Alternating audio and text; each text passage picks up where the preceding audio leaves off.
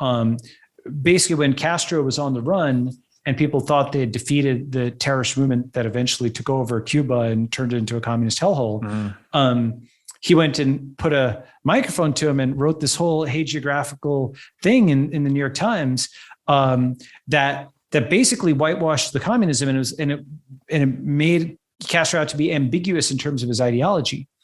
And this was sort of like, uh, you know, Osama bin Laden being defeated. Everybody thought he was dead, and then some reporter going and doing this huge interview to get help have him recruit for Al Qaeda. It was like at that level because I mean that's what communism was. It was like this terrorist movement that would take over states and turn them into charnel houses, mass murder. Mhm. Um, in fact, for many years, by the way, they're like that's why for, for 16 years, the U.S. government didn't recognize the Soviet Union from 1917 to 1933. That's why the, the nations of the world treated communism initially like they treated ISIS Mhm. as this crazy terrorist gang that had taken over Russia, and so sent in troops to help the Russian whites against the Russian Reds.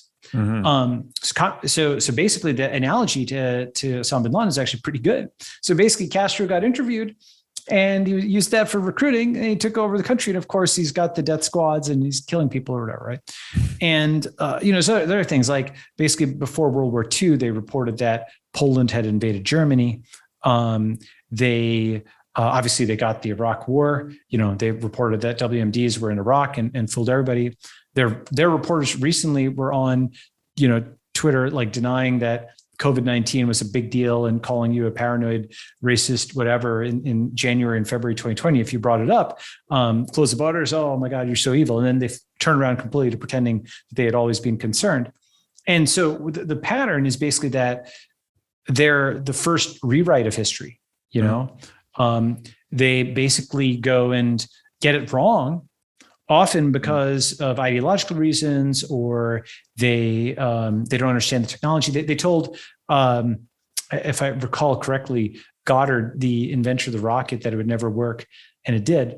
Um, and you know they said they like a few months before the wright brothers had their plane uh, a- a- you know the first the first aircraft uh, they they said oh flight will take like a million years. It'll never happen you know?